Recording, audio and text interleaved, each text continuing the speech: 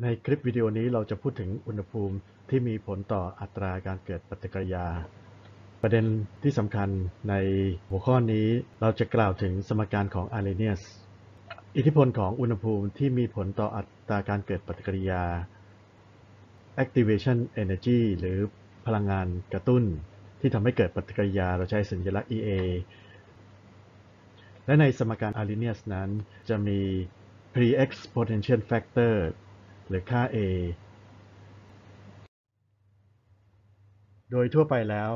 สิ่งที่เราสังเกตเห็นในปฏิกิริยาคือเมื่อเราเพิ่มอุณหภูมิ อัตราการเกิดปฏิกิริยาจะเพิ่มขึ้น กล่าวคือปฏิกิริยาเคมีโดยส่วนใหญ่แล้ว จะเพิ่มขึ้นเมื่อเพิ่มอุณหภูมิ อย่างไรก็ตาม ปฏิกิริยาที่อยู่ในวัฏภาคแก๊สจะมีอัตราการเกิดปฏิกิริยาที่มีความไวต่ออุณหภูมิ น้อยกว่า ปฏิกิริยาที่เกิดขึ้นในสารละลาย และข้อควรระวังอีกประการหนึ่งก็คือ ในระบบทางชีวภาพอย่างปฏิกิริยาที่มีเอนไซม์ทำหน้าที่เป็นตัวเร่งปฏิกิริยาจะเป็นแคตาลิสต์จะพบว่าการเพิ่มอุณหภูมิให้กับปฏิกิริยานั้น อัตราการเกิดปฏิกิริยานั้นจะจะค่อนข้างมีความซับซ้อน ทั้งนี้เนื่องจากไม่ทุกกรณีที่เพิ่มอุณหภูมิแล้ว จะทำให้ปฏิกิริยานั้นเพิ่มขึ้น เนื่องจากเอนไซม์เป็นชีวโมเลกุลชนิดหนึ่ง ซึ่งทำงานภายใต้ช่วงอุณหภูมิที่จำกัด การเพิ่มอุณหภูมินั้นจะไปมีผลต่อการทำงานของเอนไซม์ด้วยอาจจะเกิดกระบวนการการเปลี่ยนแปลง conformation ของเอนไซม์เอง เกิดกระบวนการการเสียสภาพของตัวเอนไซม์ดังนั้นก็จะมีผลต่อการทำงานของเอนไซม์ด้วย นักเคมีชาวสวีเดนชื่อสวันเตอาริเนียสเสนอว่าอัตราของปฏิกิริยาเกือบทุกชนิดขึ้นกับอุณหภูมิ และเมื่อเขียนกราฟ ระหว่างล็อกค่าคงที่ของปฏิกิริยาล็อก K กับเศษหนึ่งส่วนอุณหภูมิโดยอุณหภูมินั้นจะอยู่ในหน่วยของเคลวินพบว่าจะให้กราฟเป็นกราฟเส้นตรง ดังความสัมพันธ์ดังนี้ล็อก K เท่ากับ y intercept บวก slope คูณเศษหนึ่งส่วน t โดยสมการ Arrhenius นั้นจะแสดงได้โดยในรูปในรูปของฟังก์ชันล็อกดังนี้ล็อก k k คือค่าคงที่อัตรา เท่ากับ ล็อก a ลบ ea ส่วน rt ตัวแปรต่างๆเหล่านี้มีความหมายดังนี้ k คือค่าคงที่อัตรา a เรียกว่า pre-exponential factor หรือ frequency factor ซึ่งเราจะพูดถึงในในบทถัดไป ea ค่า activation energy ค่าพลังงานกระตุ้น r ค่าคงที่ของแก๊ส t คืออุณหภูมิสมบูรณ์ในหน่วยของเคลวิน อีกรูปหนึ่งของสมการ Arrhenius คือจะเขียน k อยู่ในรูปของฟังก์ชัน exponential ดังนี้ k เท่ากับ a p exponential factor คูณ ฟังก์ชัน exponential ของลบ ea ส่วน rt ในสมการเส้นตรงของสมการ Arrhenius นี้ความชันของกราฟจะมีเครื่องหมายเป็นลบดังแสดงในรูป รูปนี้เราเขียนกราฟระหว่าง log k กับเศษหนึ่งส่วน t กราฟเส้นตรงที่ได้นี้จะมีจุดตัดแกน y เท่ากับ log a และความชันของกราฟเท่ากับลบ ea ส่วน r และจากสมการเส้นตรงของ Arrhenius จะเห็นว่าค่าคงที่อัตรา k จะแปรผกผันกับลบเศษหนึ่งส่วน t นั่นหมายถึงเมื่ออุณหภูมิเพิ่มขึ้น ค่าเศษหนึ่งส่วน t จะลดลง ค่า a จะสูงขึ้น และเมื่อลดอุณหภูมิลง ค่าคงที่อัตราก็จะลดลง เราจะเห็นว่าอุณหภูมิในปฏิกิริยานั้นมีผลต่อค่าคงที่อัตราการเกิดปฏิกิริยา พิจารณาตัวอย่างปัญหาต่อไปนี้ อัตราการเกิดปฏิกิริยาอันดับ 2 ของการสลายตัวของอะเซตาดีไฮด์ที่อุณหภูมิ 700 ถึง 1,000 เคลวิน มีค่า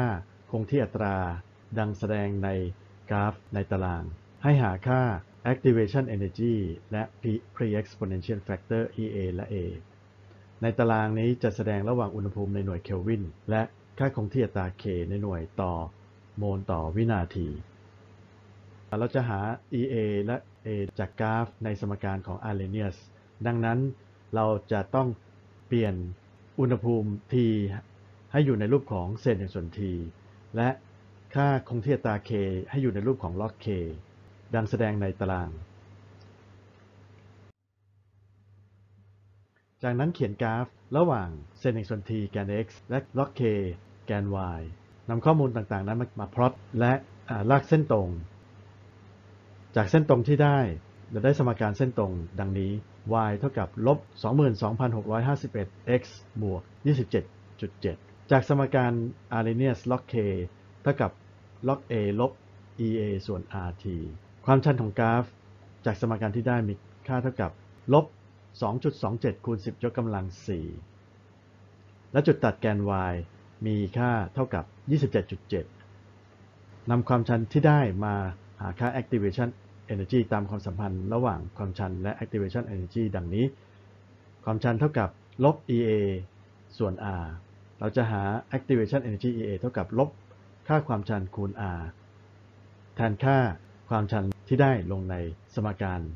และค่าคงที่ของแก๊ส ดังนั้นค่า activation energy มีค่า 189 กิโลจูลต่อโมลสำหรับจุดตัดแกน y เราได้เท่ากับ 27.7 p exponential factor เท่ากับ log a ดังนั้น a เท่ากับ e ยกกำลังลบ 27.7 ซึ่งมีค่าเท่ากับ 1.1 คูณ 10 ยกกำลัง 12 ต่อโมลต่อวินาที ตามที่ได้กล่าวมาข้างต้น อุณหภูมิมีผลต่ออัตราการเกิดปฏิกิริยา อย่างไรก็ตาม การเปลี่ยนแปลงอุณหภูมินั้นจะมีผลต่อ ค่าคงที่อัตราในลักษณะที่มีความไวต่อการเปลี่ยนแปลงนั้นแตกต่างกัน ทั้งนี้ต้องคำนึงถึงค่า activation energy ในปฏิกิริยาที่มีค่า activation energy สูง กล่าวคือ EA มีค่ามาก ปฏิกิริยาชนิดนี้จะมีความไวหรือ sensitive ต่อการเปลี่ยนแปลงอุณหภูมิมากกว่าปฏิกิริยาที่มี activation energy ต่ำกว่า ถ้ามองในแง่ของความชันของกราฟในสมการ Arrhenius ปฏิกิริยาที่มี activation energy สูง จะมีความชันที่ชันมากกว่าปฏิกิริยาที่มี activation energy ต่ำกว่า ถ้าเราพิจารณากราฟกราฟที่มีความชันมากที่สุด ก็จะมีค่า activation energy สูงที่สุด ปฏิกิริยาชนิดนี้จะไวต่อการเปลี่ยนแปลงอุณหภูมิ ในกรณีที่กราฟนั้นมีความชันเป็นศูนย์กล่าวคือ ปฏิกิริยาที่พลังงานกระตุ้นหรือ activation energy เท่ากับศูนย์หรือไม่มี activation energy ปฏิกิริยาอันนี้ค่าคงที่อัตรานั้นจะเป็นอิสระต่ออุณหภูมิ กล่าวคืออุณหภูมิจะไม่ขึ้นอยู่กับค่า activation energy ปฏิกิริยาที่มี activation energy สูงนั้นจะเป็นส่วนใหญ่จะเป็นปฏิกิริยาที่ไม่มีความเสถียร อย่างเช่น ปฏิกิริยาที่มีอนุมูลอิสระหรือ free radical โดยเฉพาะที่อยู่ในสถานะ หรือวัฏภาคแก๊ส ค่าคงที่อัตรานั้นจะเท่ากับ p exponential factor ปฏิกิริยาที่มีค่า EA เท่ากับศูนย์นั้น จะไม่ขึ้นกับอุณหภูมิ มีบางปฏิกิริยาที่ค่า activation energy ติดลบ หรือน้อยน้อยกว่าศูนย์ ความหมายของปฏิกิริยานี้ อัตราการเกิดปฏิกิริยานั้นจะลดลงเมื่อเพิ่มอุณหภูมิ และในกรณีของปฏิกิริยาที่เกี่ยวข้องกับเอนไซม์ลักษณะเส้นตรงในสมการ Arrhenius ของกาซนั้นจะแตกต่างไป กล่าวคือ เราจะได้สมการเส้นตรงในช่วงอุณหภูมิช่วงหนึ่งเท่านั้น หากเกินข้อจำกัดในช่วงอุณหภูมินี้ไปก็จะนั่นหมายความว่าเอนไซม์เริ่มสูญเสีย ประสิทธิภาพในการทำปฏิกิริยา หากเราทราบ activation energy ของปฏิกิริยา เราสามารถทำนายค่าของที่อัตราที่อุณห K2 ที่อุณหภูมิ T2 จากค่าคงที่อัตรา K1 ที่อุณหภูมิ T1 โดยอาศัยสมการของ Arrhenius แสดงได้ดังนี้ ในสมการ Arrhenius log K1 เท่ากับ log A ลบ EA ส่วน RT1 โดยที่ K1 และ T1 นั้นคือ ค่าคงที่อัตราและอุณหภูมิ 1 ที่เราทราบ log K2 เท่ากับ log A ลบ EA ส่วน RT RT2 ในสมการนี้ K2 คือค่าคงที่อัตราที่เราต้องการทราบค่า โดยเรากำหนดอุณหภูมิ T2 ที่เราสนใจไว้ การหา K2 นั้นหาได้จากนำสมการ log K1 นี้มาลบกับลบ log K2 กับ log A นั้นจะ cancel กันไป ก็จะเหลือเพียงลบ EA ส่วน RT1 ลบ ด้วยวงเล็บลบ EA ส่วน RT2 ทางด้านซ้ายมือของสมการนั้น จะอยู่ในรูปของ log ลบ log ฟังก์ชัน ดังนั้นเราเขียนอยู่ในรูปของ log K1 ส่วน K2 เท่ากับขวามือของสมการนั้นเรามีค่า EA ส่วน R เป็นตัวร่วมในในการลบ ดังนั้นเราเอามานอกวงเล็บก็จะเป็น EA ส่วน R คูณวงเล็บ 1 ส่วน T2 ลบ 1 ส่วน T1 ดังนั้นเมื่อเราทราบ activation energy เราทราบ K1 เราทราบ T1 และเราต้องการทราบค่า K2 ที่อุณหภูมิ T2 เราสามารถทำได้โดยการแก้สมการ ดูตัวอย่างต่อไปนี้ ตัวอย่างนี้ให้ค่า activation energy มามีค่าเท่ากับ 50.2 กิโลจูลต่อโมล ในปฏิกิริยานี้มีค่า K1 เท่ากับ 3.46คูณ10 ยกกำลังลบ 2 ต่อวินาที ที่อุณหภูมิ 298 เคลวิน ให้คำนวณ K2 ที่อุณหภูมิ 350 เคลวิน ดังนั้น เรามีสมการ log K1 ส่วน K2 เท่ากับลบ EA ส่วน R คูณทั้งหมดเศษในส่วน T2 ลบเศษในส่วน T1 เราแทนค่า K1 ตัวแปรต่างๆ ที่โจทย์กำหนดให้ลงในสมการ จะได้เป็น log 3.45คูณ10 ยกกำลังลบ 2 หารด้วย K2 เท่ากับ 50.2 หาร 8.314 คูณทั้งหมดเศษ1ส่วน 350 ลบ1ส่วน 298 ผลลัพธ์ที่ได้ K2 เท่ากับ 0.702 ต่อวินาที หากเราพิจารณาตัวแปรที่อยู่ในสมการ Arrhenius p exponential factor a ซึ่งเป็นค่าที่วัดอัตราการชนกันของสารที่เข้าทำปฏิกิริยา ค่า a ขึ้นอยู่กับอัตราการชนของสาร ซึ่งอัตราการชนของสารนั้นขึ้นอยู่กับความเข้มข้นของสารตั้งต้น ถ้าหากว่าสารตั้งต้นนั้นมีความเข้มข้นมาก มีปริมาณมาก ในสารละลายอัตราการชนกันก็จะสูง เมื่อสารมีความเข้มข้นน้อยโอกาสที่สารตั้งต้นนั้นจะชนกันก็จะมีค่าน้อย p exponential ก็จะมีค่าน้อยสำหรับตัวแปร activation energy EA เราจะวิเคราะห์จากการเปลี่ยนแปลงพลังงานสักย์ของโมเลกุลเมื่อเกิดปฏิกิริยา พลังงานกระตุ้นของปฏิกิริยา เราจะพิจารณาจากกราฟพลังงานสักย์ของโมเลกุลของสารที่เกิดปฏิกิริยา ดังกราฟต่อไปนี้ ในการเกิดปฏิกิริยานั้น สารตั้งต้นประกอบไปด้วยสาร A และ B เข้าทำปฏิกิริยา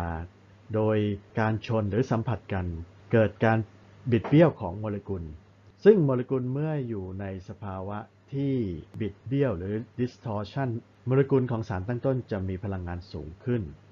และจะมีค่าจนถึงจุดสูงสุดของพลังงานสักจุดนี้เราเรียกว่าสภาวะ transition หรือ transition state หลังจากนั้นมีการสลายพันธะเกิดขึ้น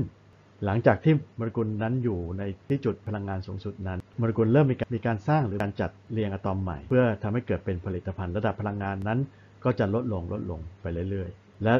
นำเข้าสู่โครงสร้างที่เสถียรของผลิตภัณฑ์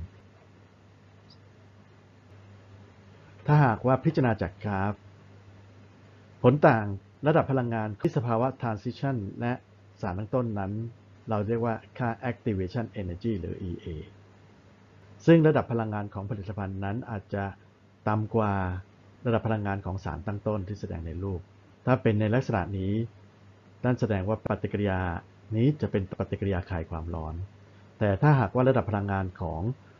ผลิตภัณฑ์นั้นสูงกว่าระดับพลังงานของสารตั้งต้น ปฏิกิริยาที่เกิดขึ้นจะเป็นปฏิกิริยาดูดความร้อน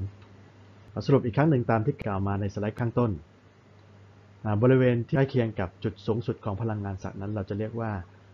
activated com- activated complex หรือสารเชิงซ้อนก่อกำมัน configuration หรือว่าการจัดเรียงอะตอมที่อยู่ในโมเลกุล ที่ทำให้มีพลังงานสักสูงสุด เป็นสภาวะ transition ของปฏิกิริยา หรือ transition state ของปฏิกิริยา EA